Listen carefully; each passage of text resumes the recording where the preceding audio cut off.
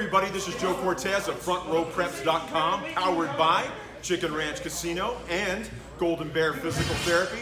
I'm coming to you today from the Mark Gallo Health and Fitness Center here on the campus of Central Catholic High School in Modesto, California. And for the Raiders, this is where it all begins. Preparations for the 2019 season begin right here in this weight room where they'll lay the foundation for the upcoming season. Coincidentally, this is where it all begins for Front Row Preps, our second year of coverage of high school sports here in the Central Valley. Over the next few weeks, we're going to be traveling around the Central Valley on the Yogurt Mill Summer Tour, taking in summer camps at the various high schools in the Central Valley and into the Mother Lode. So, on that note, let's tee it up and kick it off. Let's crank it up here. Let's go.